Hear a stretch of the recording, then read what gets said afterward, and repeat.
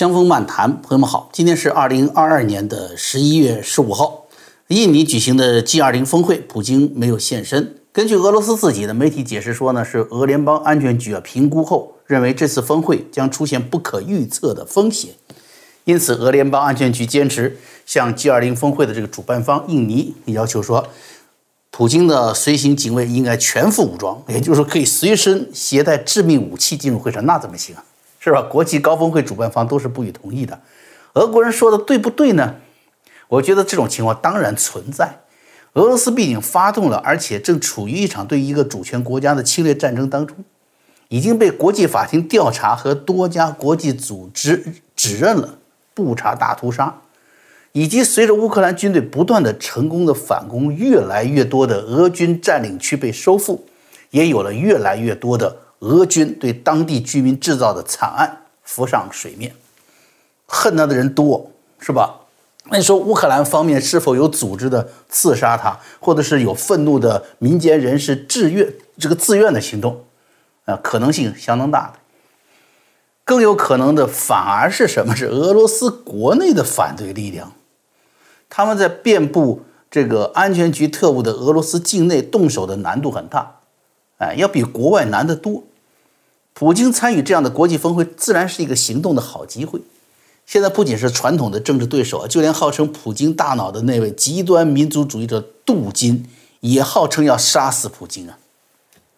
原因什么呢？哎，很简单，普京不但没有完成俄罗斯复兴的伟大梦想，还丢失了大片的占领区，让这个到现在为止八万俄军士兵死于战场。杜金认为，普京是没有完成伟大统治者的使命的失败者，他愧对了俄罗斯民族，所以应当去死。所以说，普京发动乌克兰战争的尴尬呀，就如同习近平发动的清零战役是一样的，往前走根本没有胜利的可能，越坚持国家越衰败，那往后退呢，意味着要遭到党内外清算的危机。啊，当然了，这俄罗斯媒体关于普京不来 G20 峰会的这个说这个安全原因呢，很大程度上都是在为普京找台阶下。啊，实际情况到底是什么呢？第一，战事不利，目前没有任何事物会超过俄乌战争的最新走向对普京决策的这个影响了，对吧？你看，十一月十号，俄国驻印尼大使馆通知主办方印尼说，普京缺席 G20。而就在这个通知十几个小时之前，俄国国防部长绍伊古下达赫尔松撤退命令，在第聂伯这个左岸重新建立防线。很显然，不参加 G20 峰会与赫尔松撤军是紧密相关的。从俄罗斯这个俄通社报道上来看呢，这个最终撤军计划呢，是是前线总指挥啊啊索罗维金建议的，这就是让他看起来是一个军事决策。是吧？但实际上，大家可以回忆一下，就如同莱曼战役一样的，非要俄军在前线硬扛，扛到什么时候呢？普京宣布四周公投入俄，对吧？在这个事情政治上的结结局出来了一仅一天，哎，全军撤退。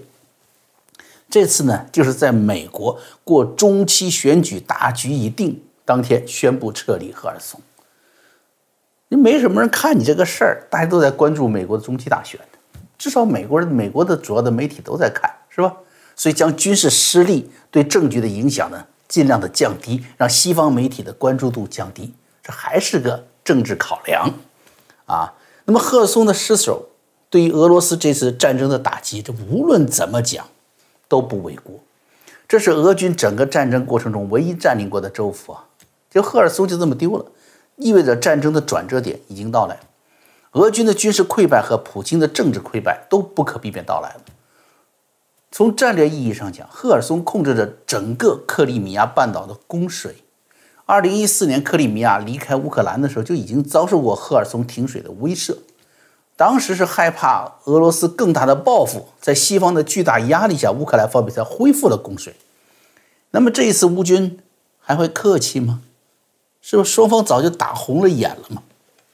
那么断水就意味着什么？整个克里米亚半岛迅速陷入后勤供应灾难，没有水呀！朋友们想一想，最多一个星期，俄军就必须撤离，而当地居民会遭受的巨大的人道灾难，这都无法预测。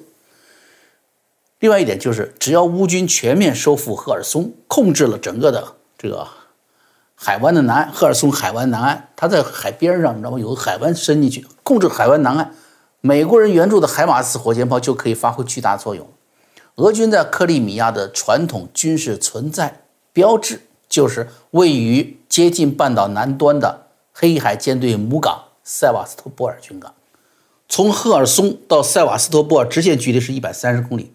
海马斯储藏、运输、发射一体化，是多用途模块化箱体，拆开了就装，装完就打，十五分钟就能完成火箭炮的准备时间，八分钟就可以决定是重新装填再打一次，还是撤离阵地。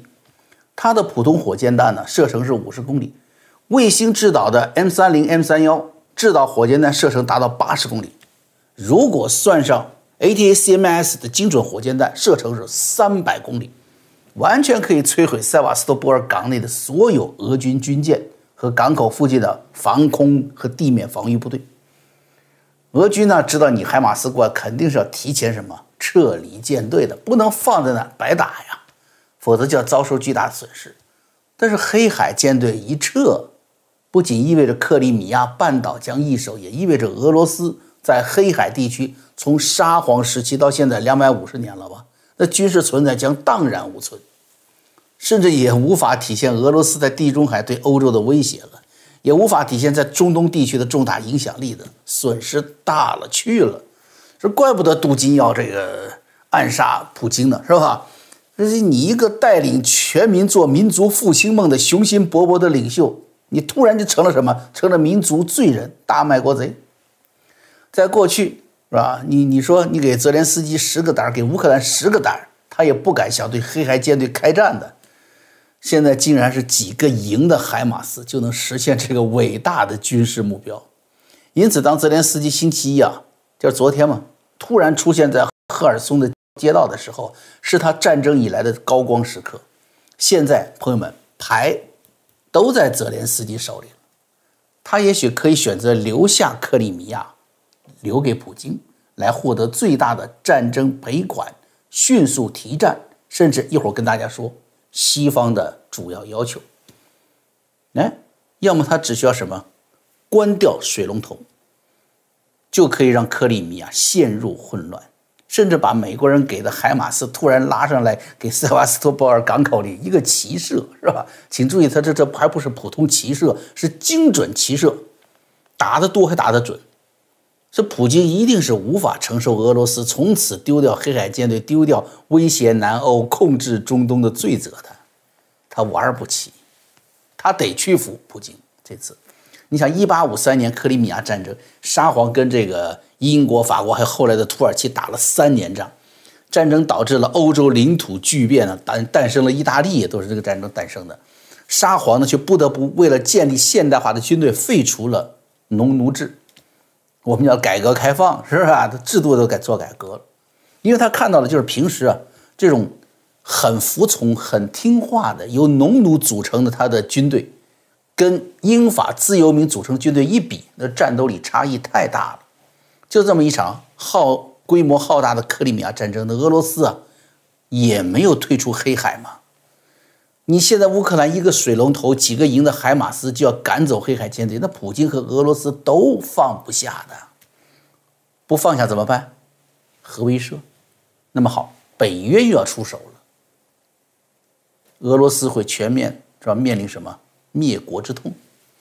所以在这种极度危机时刻，普京是不可能出现在 G20 会场的，因为他根本都没有想好应对的方案。普京不来的第二点是什么？就来自于国际的压力。这 G20 峰会啊，不少国家领导人说说不会跟普京跟往常一样来来照个合家欢，是吧？那一个会开完了，把他给撂一边了啊！这当然是一个巨大的羞辱嘛。尤其是泽连斯基，呃，说如果是普京来了，他就不来了。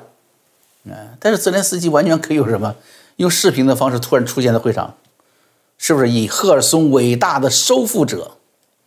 姿态来羞辱普京呢？你普京正在开会的，啪！咱们现在转发这个泽连斯基的讲话，你说普京熬得住吗？肯定背不过去，是吧？那还带来什么？刚才我跟大家分析的说，普京根本就无法面对的克里米亚和黑海舰队的命运，他哪里承受得了？普京没来，啊，泽连斯基还的确就来了啊，视频露面。今天早些时候呢，泽连斯基啊用 G 一九的这个称呼开场，上来就把俄罗斯开除了，开除他 G 二零减一，变成 G 幺九，是吧？他提出了十项和平建议。但是研究国际关系的朋友可以看看哈，我不知道大家敏感的注意到这一点没有？他的前三项建议并不仅限于乌克兰，或者跟现在俄乌战争没有说直接的乌克兰有关联。比如说，他说关于释放战俘有关联，对不对？归还领土有关联，那这些是乌克兰直接关系的建议，是从第四项才开始的。那么前三项是什么呢？第一项，核辐射。与核安全。第二项，粮食安全。第三项，能源安全。这三项显然不是泽连斯基提出来的，而是国际社会，或者更准确的说，是美国人交给他的建议书。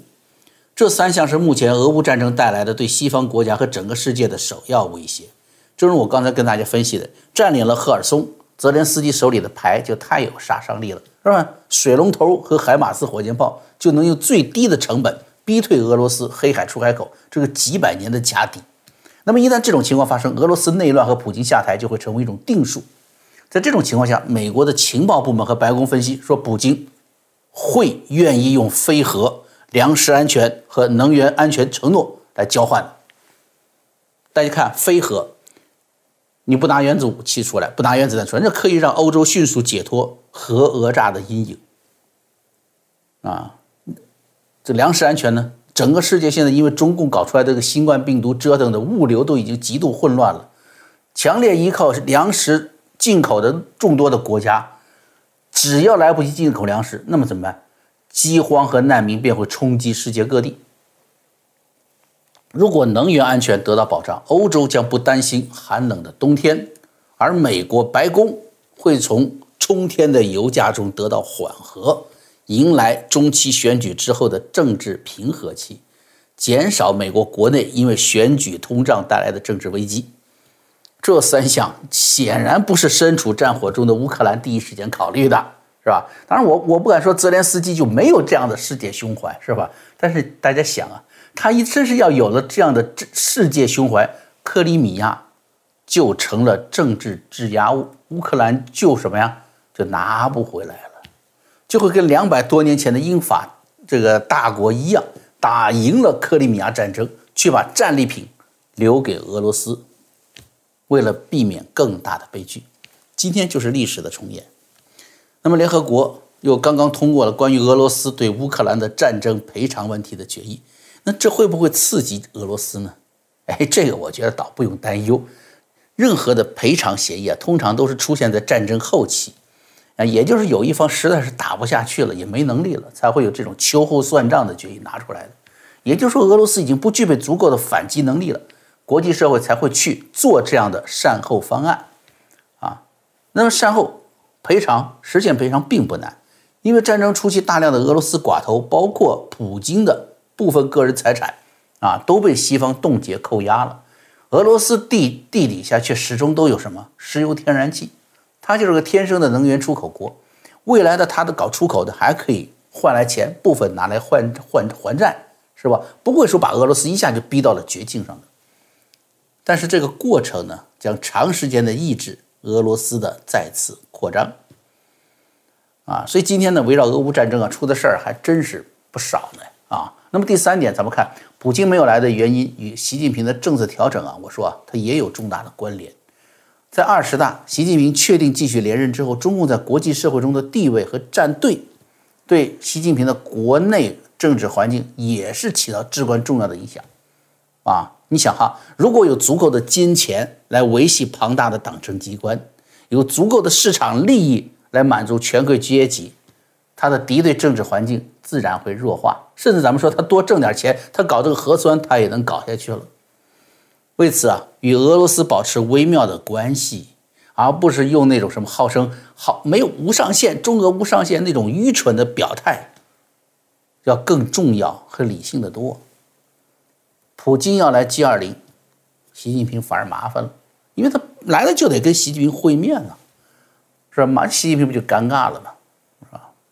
不见面是吧？国内粉红不答应，长久以来民族主义无条件的捧俄罗斯一边倒，那你这么一不见面反弹。那么见面呢？G 二零峰会可不是中共最喜欢的联合国会、联合国的会场，或者是南南合作会议的这种现场啊。那些现场一看，哟，都是亚非拉小兄弟，是吧？